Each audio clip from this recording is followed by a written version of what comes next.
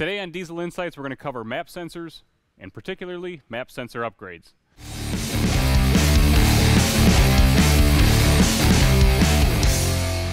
Now the truck behind me here, this 2.8 liter Canyon, is really ripe for a map sensor upgrade because from the factory it comes with one of the lower reading map sensors. Alright Nick, you said map sensor four times, what the hell's map sensor? Manifold air pressure. Okay, so we're measuring manifold air pressure, which is everything from vacuum up to full boost. So 14.7 would be atmospheric, you know, throttle blades open, everything's flowing perfectly. Anything over that would be boost at atmosphere.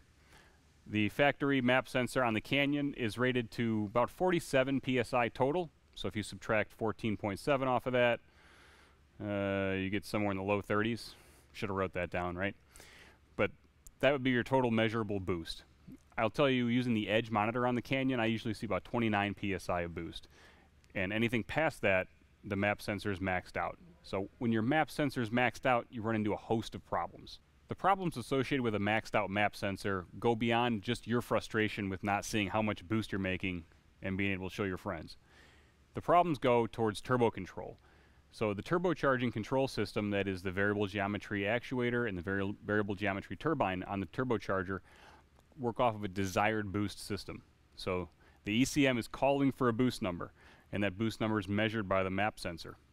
If that map sensor can't read high enough to tell the ECU we've achieved the boost number, then the vanes can't do what they're supposed to do, and the variable geometry turbocharger essentially loses control of the system, and it'll either default to the maximum vane position or the minimum vane position. We don't want either of those things to happen. We want the turbocharger to be able to achieve the boost pressure that we desire in the ECM using our tuning, and therefore we need to upgrade the map sensor in order to make that something that can happen. On a stock 2.8 liter, 29 pounds of boost is working the turbocharger fairly hard, and upgrading the manifold air pressure sensor really isn't a critical detail. However, as we start to upgrade turbochargers on these trucks, and any other truck that needs a map sensor upgrade for that matter, we need to make more than 29 pounds of boost to get us into that mid 200s, 250, 260, 270, up to 300 horsepower on the 2.8 liter.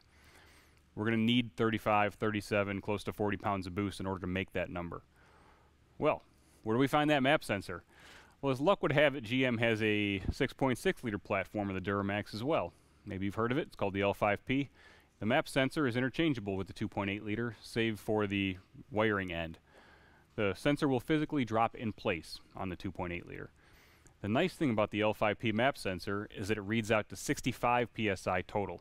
Subtract 14.7 off of that, you're in the high 40s for a readable boost.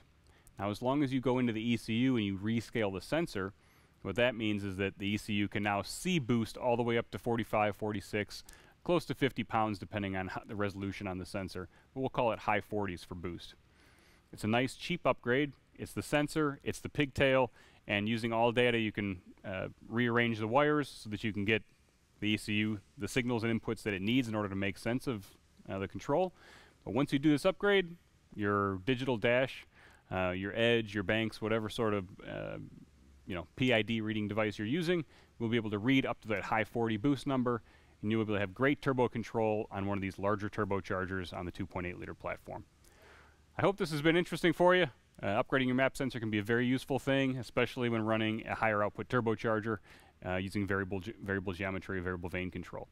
I'm Nick Priegnitz with Diesel Insights. If you enjoyed this one, subscribe to the channel. I love doing them. You love watching them. I'll see you next time.